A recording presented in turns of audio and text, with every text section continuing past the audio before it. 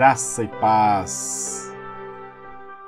Bom dia, bom dia a todos que estão acompanhando aí a programação devocional diário, mais um dia, hoje manhã de sábado, e estamos agradecidos ao Senhor por mais essa programação.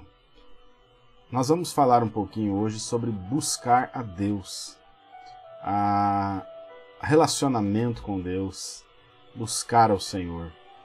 E para isso, vamos meditar um pouquinho em Jeremias capítulo 29, versículo 13. Nós, ouvi, nós lemos o seguinte: Vocês me procurarão e me acharão, quando me procurarem de todo o coração. Amigos, muitos sabem né, sobre a vida de Jesus. Há muitas pessoas que estudam é, a vida, a obra de Jesus Cristo, mas poucos o conhecem de verdade. Conhecer Jesus vai muito além de saber quem ele é. Você pode saber tudo sobre a vida dele, você pode fazer grandes dissertações sobre a pessoa de Jesus mas conhecer Jesus é algo muito mais profundo. Jeremias, ele usado por Deus, diz: Vocês me procurarão e me acharão, quando me procurarem de todo o coração. Buscar a Deus de todo o coração, de fato, é um relacionamento pessoal com Deus. O apóstolo Paulo, em, escrevendo aos Romanos, capítulo 12, nós já estudamos esse capítulo muito com a igreja recentemente, e é sempre importante lembrá-lo. Quando ele diz: Rogo-vos, pois, irmãos, pela compaixão de Deus, que apresenteis os vossos corpos em sacrifício vivo, santo e agradável a Deus, que é o vosso culto racional. E não sedes conformados com esse mundo, mas sede transformados pela renovação do vosso entendimento, para que experimenteis qual seja boa, agradável e perfeita vontade de Deus. Irmãos, relacionamento com Deus é busca incessante é o desejo incessante em nossos corações de fazer a vontade de Deus. Como Paulo diz em Colossenses 1:9, por essa razão nós também, desde o dia que ouvimos, não cessamos de orar por vós e pedir que sejais cheios do conhecimento da sua vontade. O conhecimento da sua vontade em toda sabedoria e inteligência espiritual. Para quê? Para que possais andar dignamente diante do Senhor, agradando-lhe em tudo. Relacionamento com Deus implica em entrega total, sacrifício vivo no altar. É, significa que não há como conhecer ao Senhor Jesus sem buscá-lo verdadeiramente.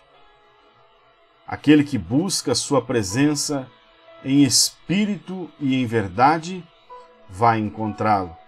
Em referência a João capítulo 4, versículo 23, onde Jesus diz que os verdadeiros adoradores é, adorarão o Pai em espírito e em verdade. Deus é espírito e importa que os que o adoram o adorem em espírito e em verdade.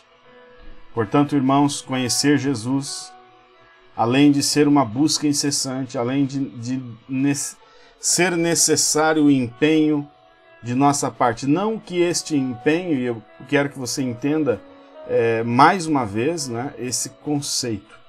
Quando eu falo empenho, eu não estou dizendo que através do empenho é que você será salvo. Não, não, não. A salvação já está paga. Ele já pagou o preço da salvação no Calvário. Mas, uma vez salvo, você deseja a presença de Deus. E aí sim, é, entrar na presença de Deus exigirá de nós um empenho, a dedicação. E uma vez é, dedicando, nós começamos então a adorá-lo em espírito e em verdade. Uma vez adorando em espírito e verdade, nós começamos então a sermos imitadores de Jesus Cristo. Segundo é, a linguagem de Paulo aos Coríntios, sua primeira carta, capítulo 11, versículo 1, ele diz: Sede meus imitadores, como também eu sou de Cristo. Imitar a Cristo, viver como Cristo de maneira tal que as pessoas olhem para você e digam: aí vai um cristão. Inclusive, esse termo cristão, ele nasce ali na igreja de Antioquia, é, no livro de Atos, capítulo 11, versículo 26, porque os discípulos começam a imitar tanto a Jesus, começam a andar tão parecidos com Jesus, que as pessoas olham para eles e dizem: esses são cristãos. Ele surge, eu não sei se como um tema, um título pejorativo, uma maneira de discriminatória, todavia, é, esse título é dado aos discípulos justamente porque eles estavam é, se parecendo com o seu Senhor. Quando procuramos Jesus de todo o nosso coração, ele se revela a nós. Ele jamais estará é, com suas costas viradas para você, mas ele está atento para que quando você o busque de todo o coração, você possa encontrá-lo.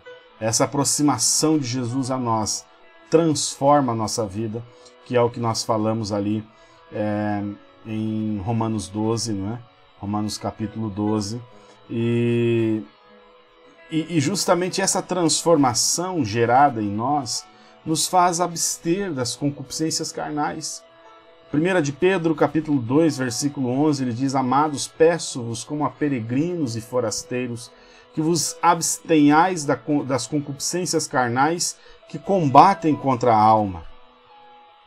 Ó oh, irmãos, essa mesma escritura nós podemos encontrar algo semelhante quando nós lemos é, Romanos capítulo 6. Eu amo muito o capítulo 6 de Romanos, porque ele trata dessa novidade de vida. Lembra? Se você quer conhecer Jesus, ele está disposto a ter este, esta aproximação com você. E uma vez que você o conhece, uma vez que ele se aproxima de todo de você, quando você se aproxima dele de todo o coração, ele se revela a você e essa aproximação então transforma a sua vida.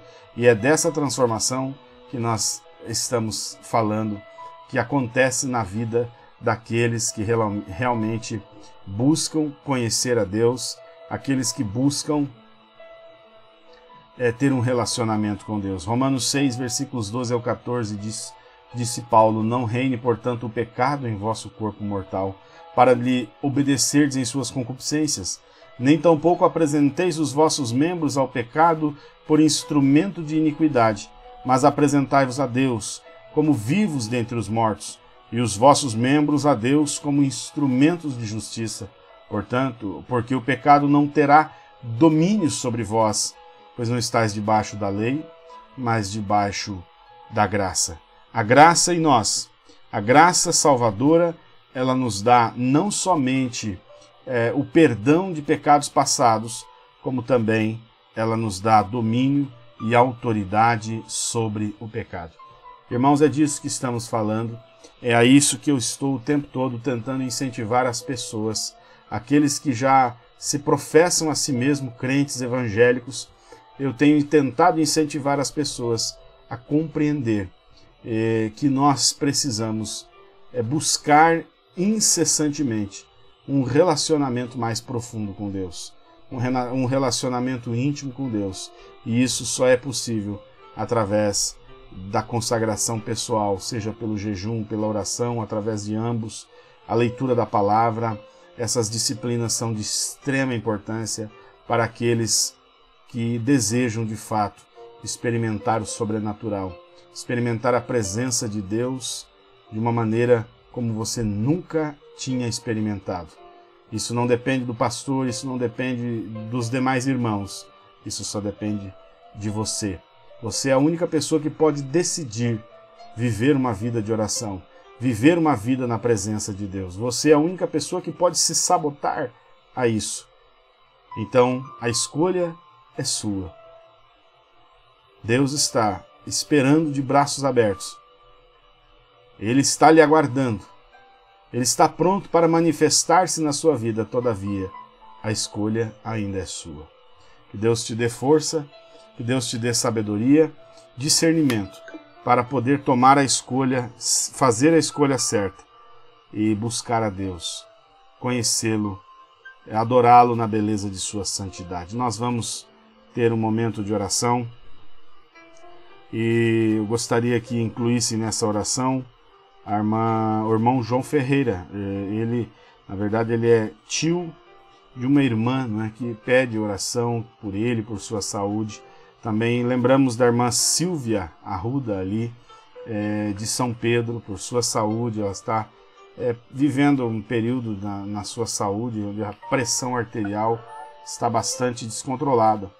Então nós pedimos por ela. Também lembrei-me aqui do irmão João Yans, seu diabetes descontrolado, que Deus possa é, entrar em cena por ele. Também o irmão Evaldo Silveira, não é? mesma coisa, é, ajustando medicação e nisso o diabetes está ainda um tanto descontrolado. Oremos por todos estes e se você tem um pedido, você pode apresentar ao Senhor nesse momento de oração.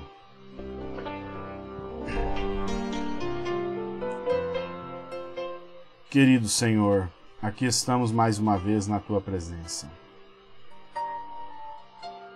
Nós mesmos nada podemos fazer por esses irmãos. Nós somos tão necessitados quanto eles. Mas, Senhor, tu podes entrar em cena agora e curar o enfermo, libertar o oprimido. Nós apresentamos a Ti esses pedidos, bem como também pedimos em nome de Jesus. O Senhor nos conceda um excelente dia na Tua presença as programações de viagem, que em tudo o Senhor nos guarde. Nós muito agradecemos a Ti por todas as bênçãos que o Senhor nos tem dado. Meu Deus, se não fosse o Senhor, nós há muito já teríamos sido destruídos. É a tua graça, é a tua misericórdia que tem nos alcançado. Senhor, dá-nos esta inteligência espiritual para fazer tudo para agradar ao Senhor. Dá-nos esse desejo incessante de agradar a Deus, de buscá-lo, de servi-lo com tudo que está em nós. Pai eterno, guarda-nos, Pai, durante a viagem livra-nos de todo mal e perigo.